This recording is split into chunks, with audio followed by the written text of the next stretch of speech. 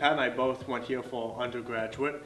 We knew the staff, we knew the school. Uh, we've both been working for several years as teachers in Springfield. We just really both believed in the message that Westfield State sent us out with and the training that they sent us out with as well really prepared us for what our careers would bring to us. I think that what we've really worked on so far in our master's program is really refining the skills that we really grew in our undergraduate career. Now it's much more real because we've actually done it for several years. The professors really care and they're really there to help you and I've been learning a lot all the professors, including professors online, have always been very responsive, very eager to help. And it's great to be able to go to class a few nights a week to be able to talk with people about what we're both passionate about. Studying history, and especially as in-depth as we have gone by reading books, articles, doing research, it just made us much better citizens. The way I see this program helping is training us to be the best teachers that we can be and the best historians that we can be. I'd say that this program is going to help me just through the, like, the sheer amount of knowledge and skills that we're, we're building on, that we continue building on. The resources that I uh, utilize